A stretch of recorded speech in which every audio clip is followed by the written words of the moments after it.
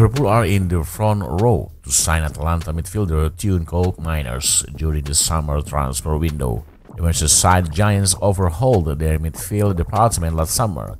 They brought in Alexis McAllister, Dominik Szoboszlai, Wataru Endo and Ryan Gravenberch.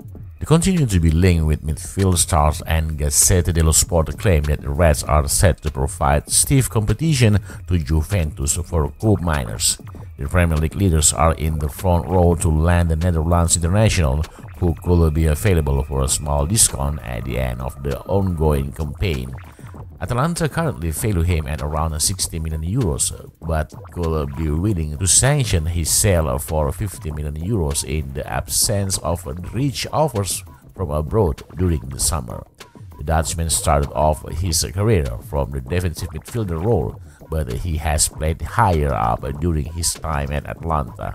He has 10 goals and 4 assists for Atalanta this season, but has also impressed defensively In the Serie A, the former AZ man has won 2 tackles per game and almost 60% of his duels.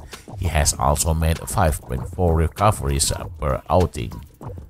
Koopmeiners is a dynamic midfielder who likes to press his opponent and will fit into Liverpool's philosophy.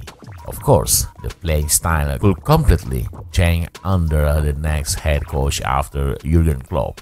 The Netherlands ace will still be a quality acquisition as he can operate from any midfield position. At 26, he is in the peak of his career. The asking price should not prove a stumbling block for Liverpool during the summer. Koopmeiners could come in as a replacement for Thiago Alcantara, who looks likely to be released when his contract expires in June.